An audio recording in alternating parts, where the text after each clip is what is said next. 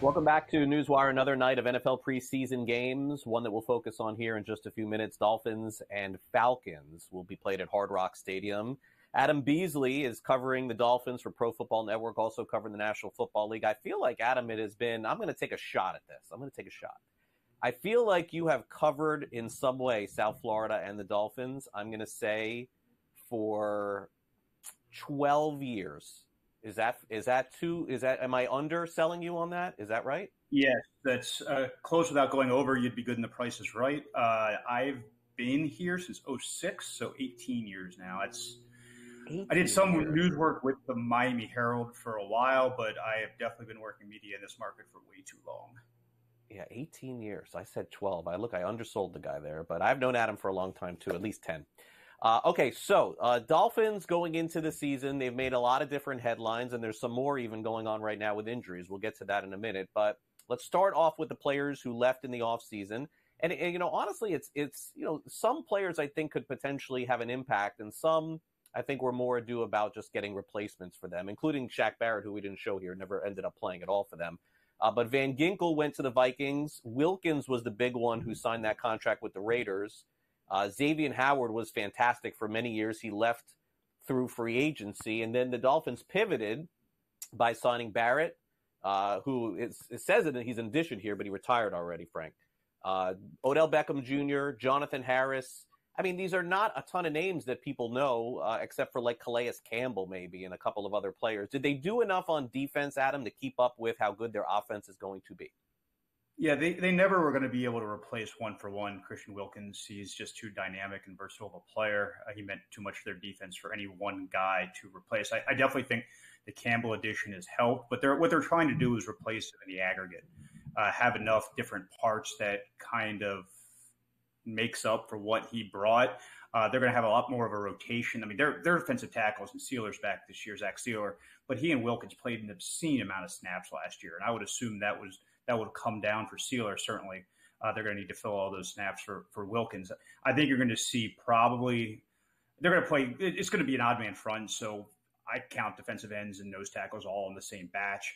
And each of those three positions, three end positions, the nose tackle, I think they're going to have probably seven, maybe guys playing that rotation at the very least six, uh, and just keep throwing bodies in there. Yeah, and, and that's the thing, as you mentioned, the aggregate. We've you know, heard that term on Moneyball before, and sometimes it works, sometimes it doesn't. But the aggregate also was accomplished in the draft, where the Dolphins very clearly early on had the idea of, hey, we are going to have to get an edge rusher. That is the key in the NFL, getting to the quarterback. So they drafted Chop Robinson, and naturally, there's going to be some other bit players that they will fit in. Uh, you know, Jaylen Wright being one of those. But let's focus here on Robinson. Uh, you know, I'm following along here as training camp is going. I got to tell you, I haven't seen his name mentioned all that much. So maybe I'm just not uh, reading the right material or seeing the right things here. How has he looked so far? I guess the Elon uh, algorithm has jacked up for you because we've been writing about Chop Robinson a ton. Uh, he's had, uh, I would say he's he's definitely had the most impactful uh, training camp of all the rookies. I think bar none. Uh, he's been uh, pretty active in the backfield. He's not going to be the big edge setter. I think that's why they went out and signed Campbell and brought back Emmanuel Ogbah after Barrett retired, to your point. Uh, but if you're looking for a guy who can give you 30, 35 solid pass rush reps a game, uh, Chop Robinson more than fits that bill. I mean, they're, they're going to need him, particularly early on, because – uh, uh, both Jaelan Phillips and Bradley Chubb are both coming off of reconstructive mm-hmm. surgeries. We don't know the timelines for either. Uh, if I were a betting man, I would say Phillips has a much better chance of being ready for the opener than Chubb. Uh, he got hurt uh, a month before, and he just seems to have really taken to his rehab well. Uh, but even still, even if you're able to get both Chubb and Phillips back for week one, they're not going to be playing the number of snaps early on, at least, you're going to need to have another strong pass rusher.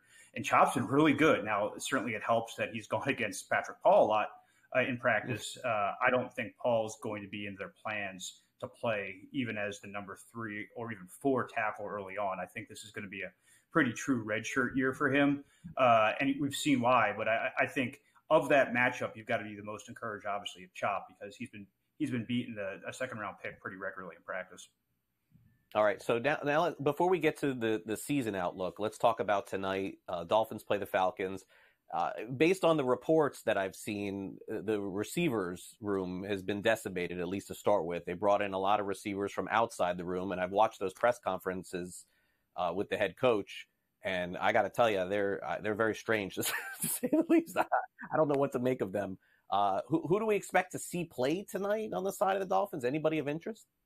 You're going to see meaningful snaps from the likes of Willie Snead, Malik Washington. Uh, I don't even know if they're going to play River Cracraft tonight because usually the first uh, preseason game is truly a backups game for the Dolphins. If there's a, you know some of these position battles like interior uh, defensive line, safety, where they need to have clarity as early as possible, those guys will play. But if you know you're on the team and you have a pretty good idea of what your role is, you're not going to see the field much tonight. So uh, yeah, they they need what they need, what they haven't had yet. What they need at some point soon is to have Tyreek Hill, Jaylen Waddle, and Odell Beckham Jr. all on the field at the same time because right. they have to have at least some kind of sense what that trio is going to look like. I know they have a vision for all three of those guys. Uh, they, you know, the offense kind of stagnated last year because teams knew on third down just to double Tyreek, double Jaylen, and there's no no other answer. That's all they can do. Right. Beckham's brought into break that logjam and to really open things up. And they've got Jonnu Smith as well, who they hope can really take advantage of some one on one. So all those names I just told you, I'm unfortunately you're probably not going to see them tonight. It's just how McDaniel runs his preseason. Yep, and that's the way it's gone for years past too. Their season win total, Adam, is nine and a half with a little juice toward the over here. I feel like this is a really good number. Uh, early on in the season, we would have thought Miami would have flown over this number last year, and they kind of landed right around it. What do you anticipate this year? Yeah, I think the the division winner is going to have ten wins. It had eleven last year. I think it's even tighter. I think ten and seven absolutely could get it done, and I think that nine and a half suggests they're going to be in the hunt. They're going to be close to that. It all depends on, to your point, how they handle that late season, you know, juggernaut they've got of teams. The last six opponents are all going to be in the playoff hunt.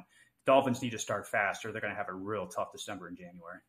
Yeah, it looks like the toughest schedule in the NFL the last couple of months. Adam, great to catch up with you. Thanks again for coming on Newswire. I really appreciate it. Anytime, Craig.